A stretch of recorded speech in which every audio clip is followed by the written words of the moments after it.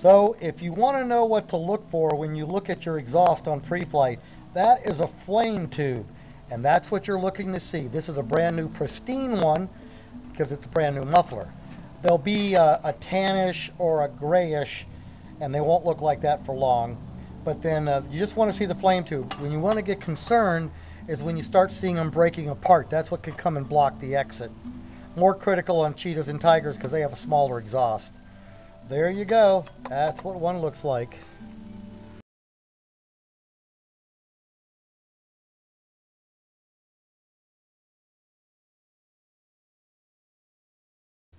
As another part of an extended pre-flight, you really need to check for those of you who don't have Tigers and have an air intake up front, like on the Yankees all the way up through the Cheetahs, make sure that while you landed at the $100 hamburger stop during nesting season, a bird hasn't built a new nest in there.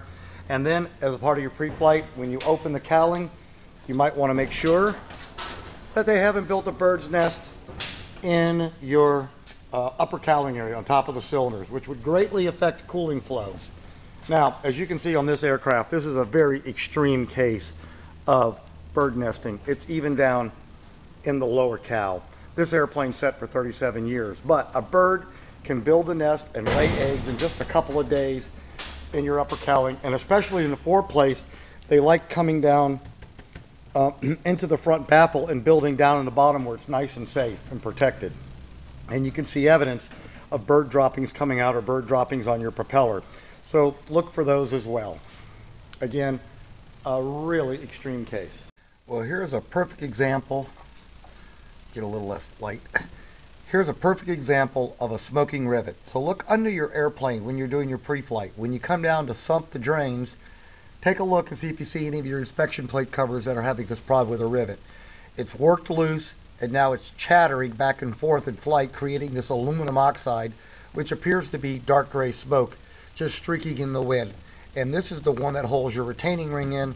So we're going to be drilling out that rivet and replacing it with a, uh, a new rivet. Be nice and secure, fastening again, no more smoking. So again, smoking rivets, it's not going to get any better. It is only going to get worse. well, here's another little tale of a smoking rivet. And of course, you can see on this bottom of this cowling, there are several smoking rivets. A couple of them over here but this one smoked so much it ate itself up and actually went all the way through the lower cowling. So we're going to have to look and see if we can put an oversized rivet in there. But we're we'll be drilling out all these rivets and um, changing out the exit pans. But still, that's what happens if you let a rivet smoke. Eventually it'll stop smoking because it's gone. Here's a perfect example, example of an ash plume. this is only a small one. Again, once your exhaust bead clamp starts leaking, it's going to plume up on the pipe and it will not get any better. So if you see this light whitish gray, that's the ash from the exhaust um, combustion byproducts and they're leaking out and if they're leaking out so is carbon monoxide. So take a look for this on pre-flight, get a good bright light and take a look. And yes, you can just put your finger on it and wipe it off and pretend it didn't happen, but hopefully you're a safe pilot and you're not doing that. Another item to check on your extended pre-flight, not on the uh, printed one in your flight manual, is check to make sure that your spark plug leads are tight. Um, sometimes they do work loose, and if you have an ignition lead come off, you're not going to be getting full power out of one cylinder, which will cause a vibration in the engine in the airframe. Uh, it, it won't be severe, but it's not a good thing. So be sure you check your spark plug leads are good and tight, all eight of them, or for those of you with the six cylinders uh, all 12. Another part of an extended pre-flight is to check the play in your flap system by picking it up and seeing how much moves. You should not get more than an inch of movement pushing up and pushing down with considerable force.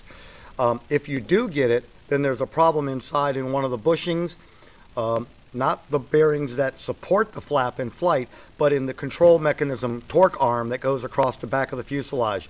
It is not fun to go back there and repair that, but again, it will not get any better and it can cause quite a severe mismatch in your flaps. So be sure to check this on your pre-flight. You also want to check on pre-flight your bearing wear. And in this case, you just simply grab the aileron around the wingtip, push up, down. And if you hear that little bumping sound, there should be no play. Uh, people call all the time and say, what's the acceptable play limit? Well, it's 30 thousandths, but you shouldn't have any play like this in your aileron. Also do the same thing on the end of your, on the uh, edges of your uh, elevator back in the back and make sure those bearings are not wearing. Then while we're here, we can check the other end.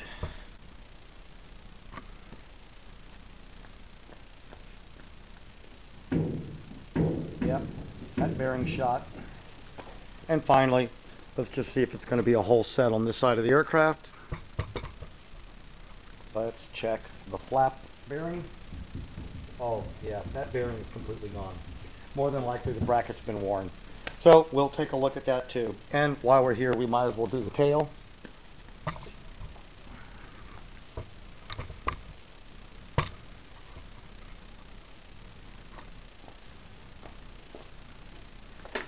We just grab it, check it, and there is no play in the tail, so this bearing is nice and tight. Add those to your extended pre-flight and have a safe flight. Well, here we go with an ash plume, and this is on the side of the cowling, and this is where a bead clamp has completely failed. Now, it wasn't the bead clamp's fault because the baffles weren't cooling the cylinder, and it just cooked the bead clamps and ate up everything inside of it. But that green stripe you see through there, the inside of this cowling is painted with zinc chromate to protect the aluminum. That white patch you see is all ash plume. And I took some acetone on a rag and I just ran it across the ash plume to make the stripe so you can see it. So that's what you that's what you'll see in smaller detail when you're looking on your extended pre-flights. That is an ash plume, that's the color, that's what you're looking for. It'll come off on your finger and that's another thing to look for. Another thing you look for on your extended pre-flight is oil drips. And here's one on the bottom of the sump. There's one over here on the drain. There's another one over on this part of the engine. So we've got something going on up above that's leaking oil. And considering there's only a finite amount of oil in an engine, you really want to track these leaks down. So when you're doing your pre-flight, if you see a drop of oil, make note of it. Bring it to the attention of your mechanic so he can trace it down and stop it. That's another thing to look for for safe flying. The other thing you can do on your extended pre-flight is get a mirror like I'm using right here and look up under your nose tire on the bottom of the fork and make sure that cotter pin is in place. You can also reach up in there and feel if it's there.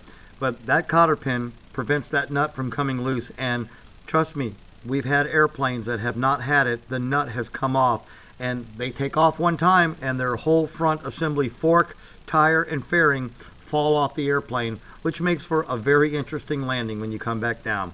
So check that on your pre-flight, add that to your extended list. Another thing to check on your extended pre-flight is this B-nut on the bottom of your caliper. And what you're going to want to do is make sure that there's no oil on it, there's not a spot on the floor, the left brake is really critical on Grumman's, and that's how we control our aircraft until we have enough rudder authority at about 25 miles an hour. So you want to make sure you're not leaking any fluid out. Uh, so again, just check that B-nut on your extended pre-flight. And this should be about the end of our extended pre-flight series. So I'd like to thank you for watching Grumman Pilots YouTube channel. Directly supports the Grumman Pilots Association. Your GPA. Have a fun day flying your Grumman.